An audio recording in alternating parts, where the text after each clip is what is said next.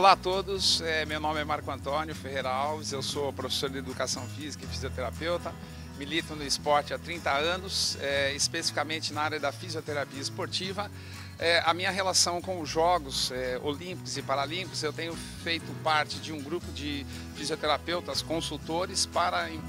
o processo de seleção, planejamento do processo de seleção e alocação dos fisioterapeutas voluntários na vila, né, trabalhando na policlínica e nos, nos, nos campos de atuação. É, atualmente eu estou trabalhando na policlínica da, da, da Vila Olímpica, né, no, durante os Jogos é, Olímpicos, e uma outra frente de, de, de trabalho minha é com os atletas paralímpicos. Então eu faço parte do Comitê Paralímpico Brasileiro, então eu vou trabalhar, nas, estou trabalhando nas Olimpíadas como pelo comitê organizador e a partir é, das Paralimpíadas eu, eu, integro o time Brasil atuando especificamente no, com os atletas paralímpicos da modalidade de atletismo.